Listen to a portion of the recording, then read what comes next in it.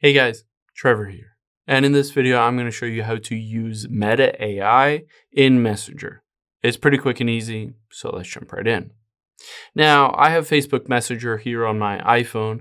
You can do this on iPhone, Android, or a computer as well.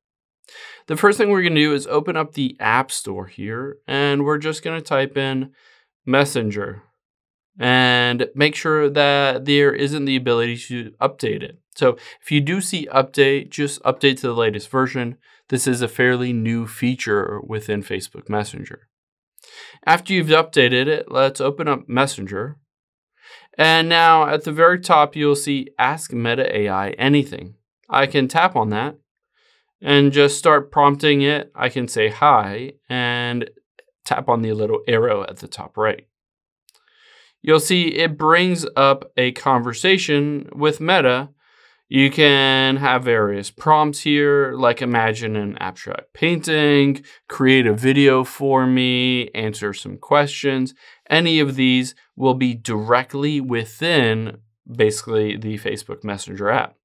You can see this image, I can download it, and at the very bottom left, you can see it was imagined with AI imaging. So you'll be able to tell that it is an AI image. It's not an actual image. You can swipe up and it'll give you more prompts. So you can see all of these various prompts that it will give you as options.